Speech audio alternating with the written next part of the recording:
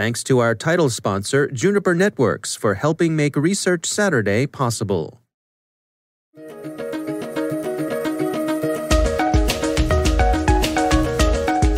Hello, everyone, and welcome to the CyberWire's Research Saturday.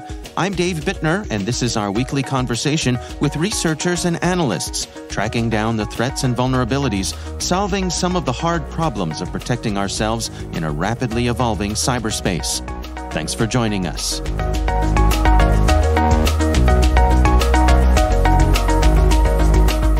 You know, I actually had this idea sort of come to me a few years back, actually, uh, where I was contemplating how there are some extremely common applications that most organizations are likely to be using, and then sort of wondering to myself, you know, how many of those have an inherent need to communicate with or access resources outside of the corporate network. And so that kind of drew my attention to browsers and what functions might exist that, you know, may not have been given much attention in that regard. That's David Prefer. He's a student at the SANS Technology Institute. The research we're discussing today is titled Bookmark Bruggling Novel Data Exfiltration with Brugglemark.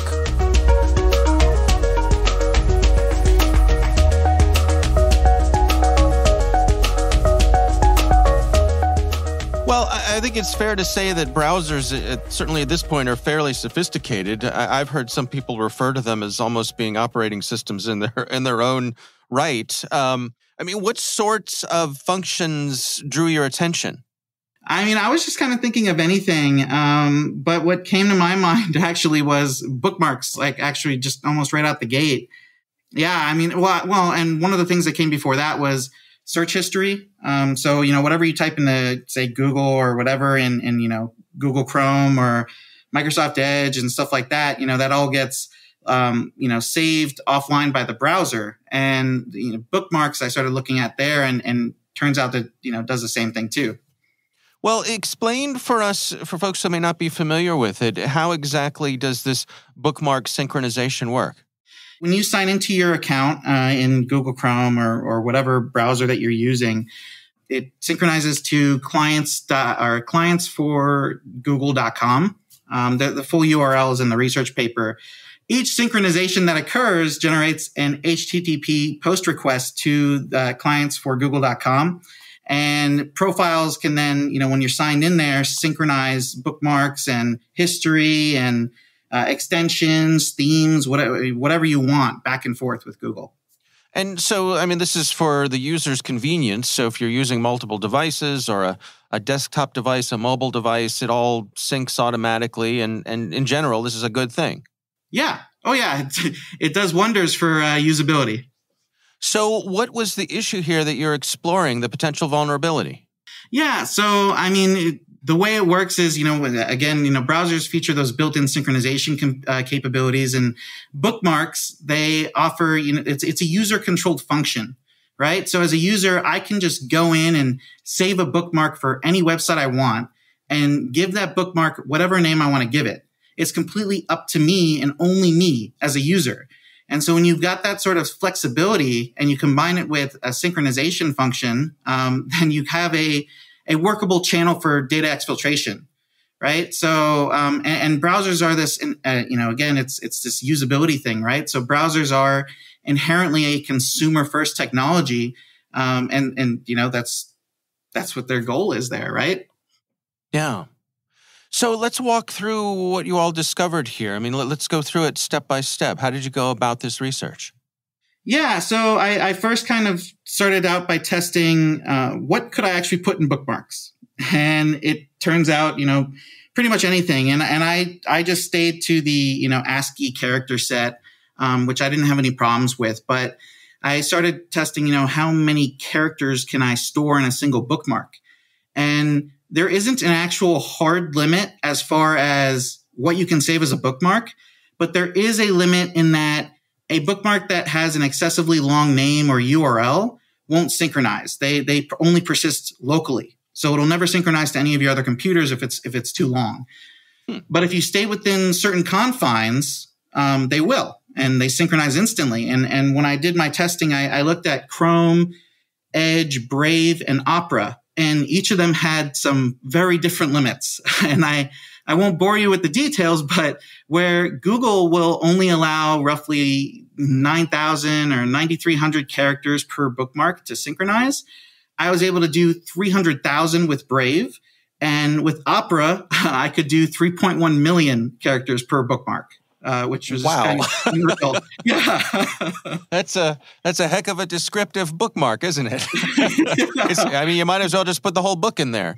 Well, you know, it's funny that you say that because to give you the perspective, there, I used the 1932 novel Brave New World by Aldous Huxley as my uh, test base there, and and um, it took roughly 60 bookmarks in Chrome. Um, and that was about 500,000 some odd characters in length when I base 64 encoded it. Um, so, you know, for opera, you could fit that book in there three times at wow. least.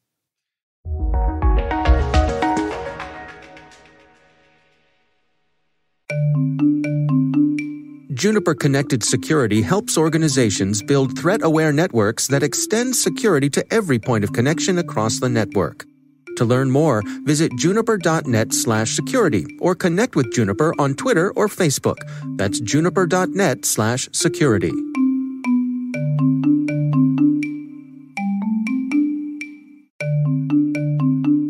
And now, a word from our sponsor, Keeper Security. Keeper is the top rated cybersecurity platform for protecting organizations of all sizes from the most common password related data breaches and cyber attacks. Did you know that 81% of data breaches are caused by weak password security? Keeper is more than a password manager. It's a scalable and customizable security platform that includes industry leading features such as automated user provisioning, role based enforcement policies, SSO SAML integration, advanced reporting compliance, breach watch dark web monitoring, and more. Members of the CyberWire community will receive a free three-year personal password manager when they take a business demo. Visit keepersecurity.com slash cyberwire to learn more. And we thank Keeper for sponsoring our show.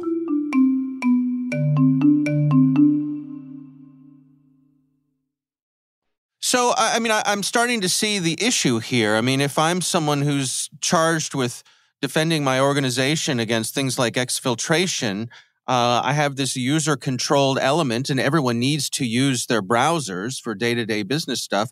But here's a way that data can be sent out of the organization without really any monitoring. Yes? I mean, there is monitor. I mean, you, um, some of, and I get into it in my paper, but, uh, you know, there are a few things that you can do from a defensive perspective. So for monitoring, to your point, um, you know, you really can't go wrong with decrypted traffic inspection. And, and, most organizations are likely to already have a forward proxy in place that can handle that. Um, but whether or not they're looking at the browser synchronization traffic, you know, that's another thing, right? So let's talk about some of the terms here. Uh, bruggling, what does that mean?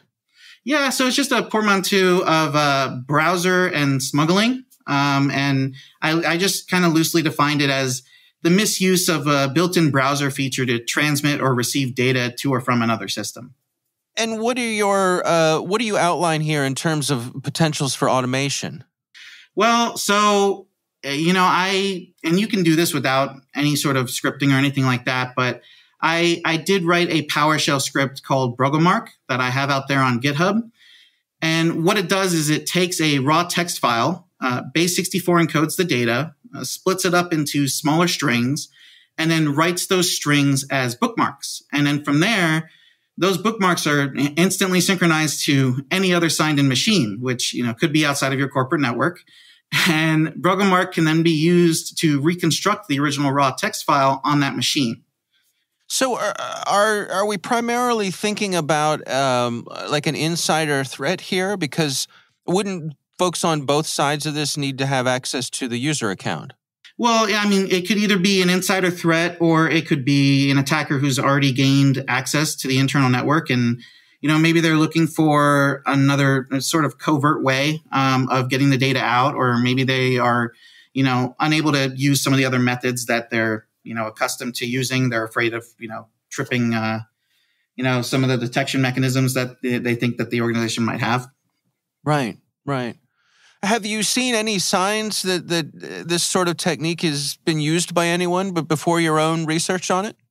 Uh, no, I, I have not. However, um, there was some research, and I'm the person's name. I'm not familiar with how to say it, so I'm going to butcher it. But I think it's Bojan, um, and then uh, there, uh, his last name starts with a Z. I apologize, um, but uh, I, I, I just can't remember off the top of my head. But he had done some re- uh, research into uh, extensions that were being used for as a command and control channel um, with with with Google Chrome, and I had actually seen that uh, research come out a little bit before I started my own. And uh, as I mentioned, I've been thinking about this for a few years, but I hadn't done anything with it. And when I saw that, I was like, "Damn, you know, someone beat me to the punch."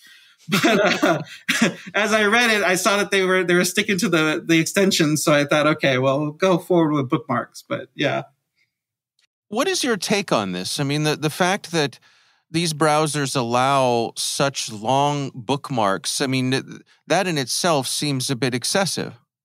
Yeah, it, it kind of seems wholly unnecessary, at least, you know, especially from the perspective of, you know, say Opera doing 3.1 million characters. Um, you know, no one, I don't think anyone's saving bookmarks that are that long. Usually you have a bookmark that says like Twitter or Google or whatever, right? So um, I definitely think that you know, they could rein in the, the character limit there. But uh, at the end of the day, it doesn't really matter so much because it just means I have to use more bookmarks to save that data, right? Mm, right. Because there, there isn't really a practical limit on the number of bookmarks you can have.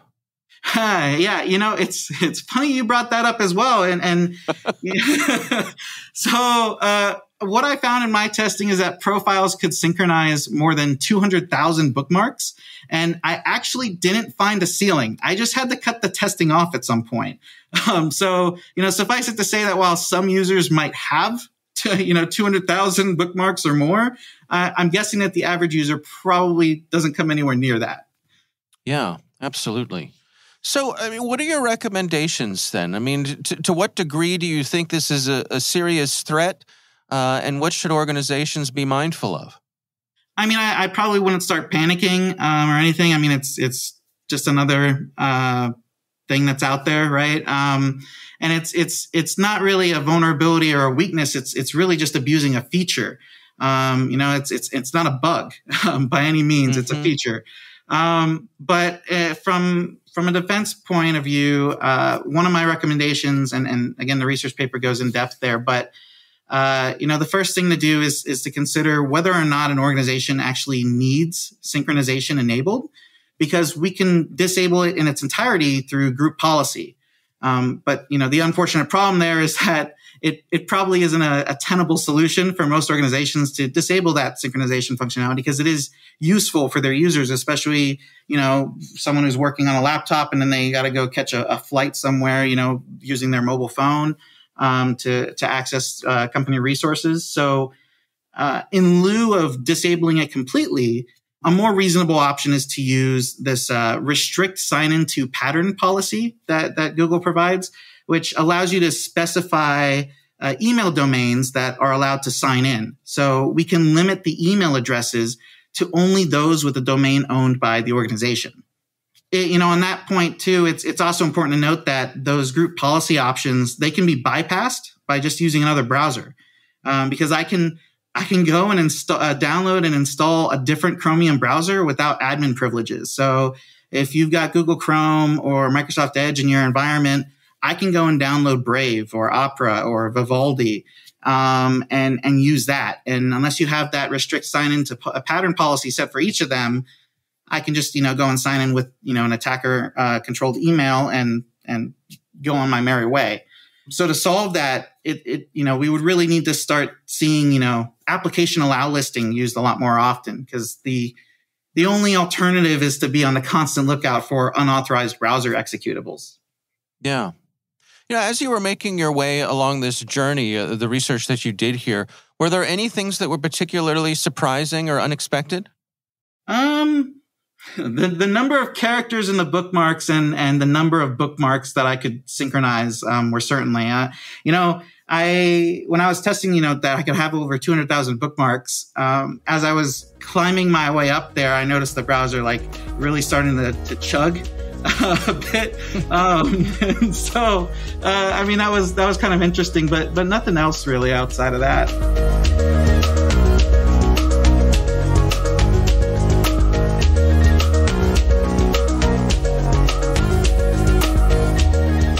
Our thanks to David Prefer from the SANS Technology Institute for joining us. The research is titled Bookmark Bruggling Novel Data Exfiltration with Brugglemark. We'll have a link in the show notes. Thanks to Juniper Networks for sponsoring our show. You can learn more at juniper.net/security or connect with them on Twitter or Facebook. The Cyberwire podcast is proudly produced in Maryland out of the startup studios of DataTribe, where they're co building the next generation of cybersecurity teams and technologies.